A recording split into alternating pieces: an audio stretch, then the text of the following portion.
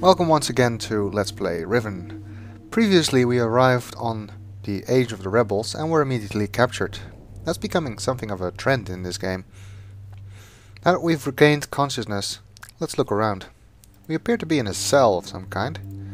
If we look out the window here, we can see the lake and that's, I think, the place where we linked into. So it appears that we are inside this giant tree that we could see when we arrived It's the giant tree that's also on the, uh, cover of Riven's box. Here's a bowl. Don't appear to have any food right now. Through here we can look to the inside of the tree. There's a guy walking across a bridge there. It appears that the moiety who have uh, migrated into this age live inside this giant tree. Built a village there, which somewhat resembles the village on uh, Riven, at least in that the huts are around. Looks quite nice, actually. It's a shame that we don't actually get to explore this. I would really have liked to just walk around this village, see what it's like. While we're looking here, we can see several things happening. We just saw a guy pass by the window. But our immediate concern is to get out of prison. Is there anything here that can help us? There is not, but... Something appears... someone appears to be coming. Who could that be? Now saya. Yapa manai yalepo. I don't speak Rivenese. Still don't. Bekaretere wira pe falapo. Tisai. Why fulupe? Okay. Well, I don't really know what she said, but um, it seems she was talking about Catherine. Although she pronounced the name a bit different. So this appears to have come from Catherine. Oh, there we go. Let's see what we got. Two books. One of these books is, yes, it's the prison book we got from Atrus in the introduction. Finally, after three hours of playing, we've gotten it back. My precious book, we've got it back. We also got another journal.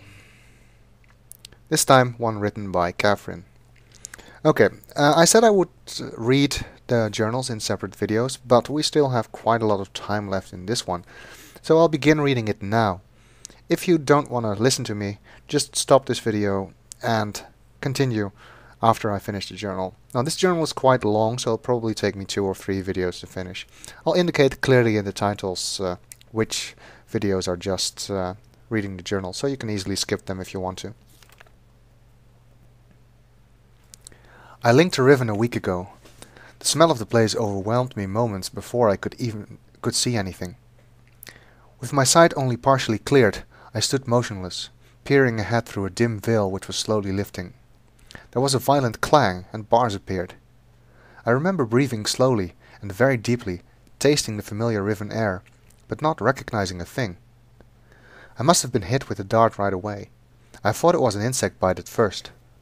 I'm trying to remember it all, but it's difficult, maybe because of the drug. There was a voice.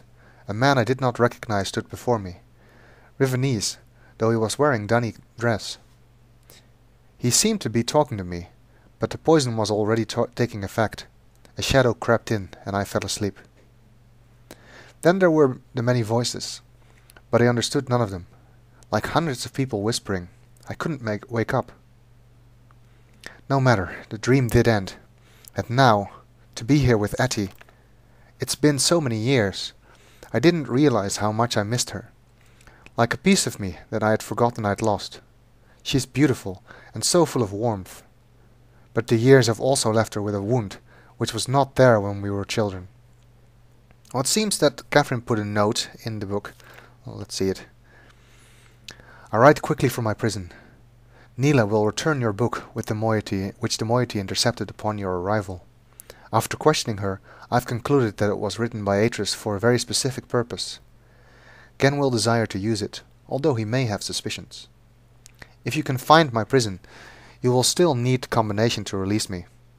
Gehn keeps it in his office. Then, I assume we're to signal Atrus. I think I know how it might be done, but don't signal him before I am released. Catherine. Okay, continue with the journal. I do wish you were more interested. It seems like I'm asking all the questions. It's awkward. No one asked me where I've been or what I've been doing. This hurts, but I understand it. Their beliefs are born out of ignorance and oppression. They are a gentle people, but they've had their nest destroyed, and now they frantically cling to anything that might save them. But why have they chosen to cling to me? I'm confused. As a child I always felt out of place here. I never belonged. They misunderstood me, and I couldn't relate to them. But now I'm overwhelmed by an intense feeling that I owe everything to them and this place. I thought I would never see them again, and yet I'm here. I've been given the second chance. But a second chance at what? Saving them? Fulfilling their prophecies? Being their savior? The moiety. Atrus would want me to chronicle all that I've learned. I can at least record some of it. It seems that when Atrus and I trapped Gehn on Riven many years ago, our efforts were witnessed by most of the inhabitants here. Two of the Rivenese even witnessed a confrontation with Gehn at the fissure, where I linked back to Myst, and where Atrus threw himself into the abyss. Of course, they understood little of what they were seeing, but they somehow were able to guess that we had won, that Gehn was no god at all, but only a feeble impostor, a false god, and that we had trapped him here on Riven. I always hoped they would deduce this simple fact, the simple truth, but their further conclusions have astonished me. Atrus had stripped Gehn of his power, therefore Atrus must be a true god. As a god, he was choosing me, the, sp the spiritual misfit from the Rivenese womb, to be his wife. I was transcending into deity, and would lord over Riven forever. Thus the moiety, as they call themselves, were born, a dissident society, sworn enemies of Gehn. I did not know of their beliefs regarding Atrus and myself until two days ago. He was, for some reason, hesitant to tell me. I can't figure out why. I know she doesn't believe these things. Of course, everyone else assumed that I would be aware of my own god status, so they made no effort to inform me. I only realized it at a recent gathering to which I was invited. I sat at the front of a dimly lit and crowded cave, as they told a mythical story of my own life, acting out the, the battle between Atrus, myself, and Gehn, at the edge of the fissure. The events had been exaggerated into grandiose proportions. It was offensive, but I was unable to stop it. I was unable to break the illusion which is the very foundation of their hope and their purpose, and which had given them courage to band together and rebel against Gehn. Since then, I have learned of other doctrines and beliefs that have evolved, the most disturbing of which is the conviction that one day I would return the Riven to freedom some believe that I will overthrow Gehn. Others believe that I will bring them to paradise. I don't know how to deal with this. I fight it myself. I love these people, my only real kindred. But they will not love me as an equal, which hurts me. I would rather be their slave than their master. Over the years, as Gehn's power has become greater and greater, the moiety's numbers have grown, and they have become more and more adept at hiding themselves. They now live in a com complex network of caves that he still has not discovered. The moiety, for the most part, have completely severed their relationship with any of the Rivenese that chose against joining them. But I hope they've not sacrificed vital limbs in order to remove the cancer. Even Father and Enant are still on the surface, in Gehn's domains, and I long to see them.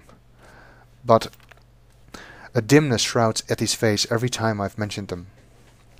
Since this break took place, they have interfered with the surface in several superficial ways, occasionally sabotaging one of Gehn's constructions and stealing food from the villagers. They wear strange masks and costumes during their scant forays to the island's surface, and take this regalia very seriously, refusing to be seen by anyone outside the moiety unless they are properly attired. Okay, I will continue reading the journal in the next video.